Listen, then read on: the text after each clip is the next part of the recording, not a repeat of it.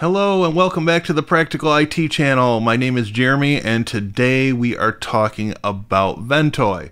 They recently released a new version, so we're going to take a look at getting that installed and get a thumb drive updated for this latest version. So let's go ahead and open up a new tab and head over to ventoy.net and we can see 1.0.84 is the newest version.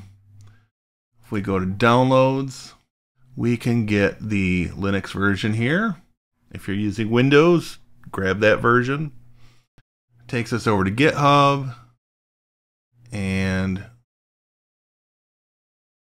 there we've got the download. So we'll save that. And that's already done. Can open containing folder. And we can use the archive manager to extract this, but I often will go command line with this myself.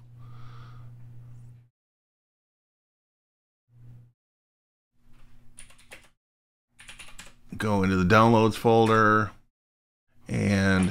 the command we want to use is tar ZXVF, Ventoy,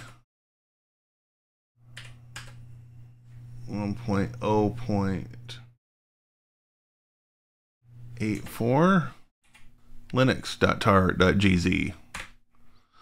Okay, now we'll change into Ventoy 1.0.84. Do an ls. And the option we want is ventoy to disk.sh. This is the command line version. But what if we wanted to run the GUI version? So in the beginning of Ventoy, there was no GUI version for Linux. It had a web UI version, but it did not have the uh, an actual GUI.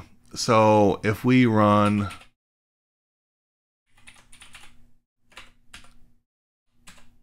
x86-64, it'll ask for administrator password.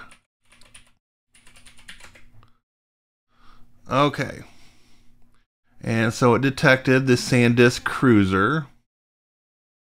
It is not currently formatted with Ventoy. So we're going to say install. Device will be formatted and all data will be lost. That is fine. And again, it prompts. It's going to reformat that and install Ventoy. Okay. So we've got matching versions here. We can close out of this. Close out our terminal and we can take a look in our downloads to see if we've got any ISO images, which we do. It's an older one, but we can take this and drag it right over to Ventoy.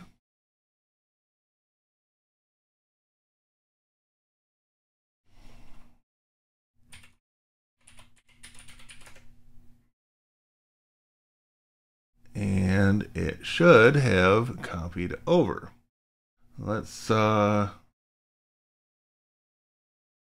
take a look and maybe try this a slightly different way.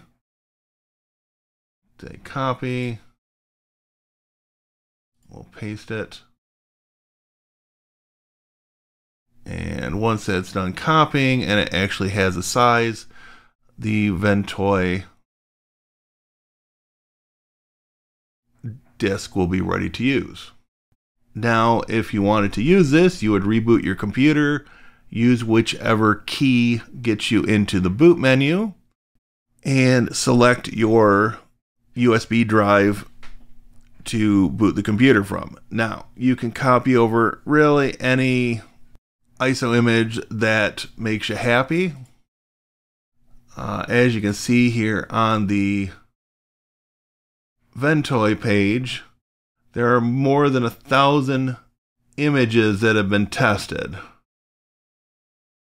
And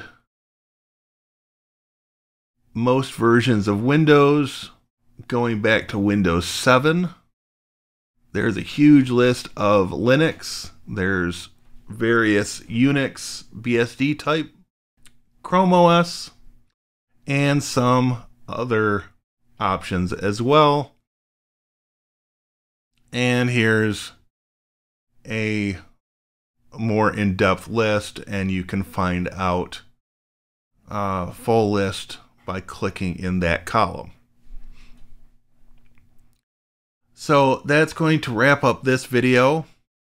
If you could take a moment to like, subscribe, and leave comments, that would be very helpful to the continued growth of this channel, and it inspires me to keep making videos. And on that note, I want to thank you one more time, and I will see you in the next video.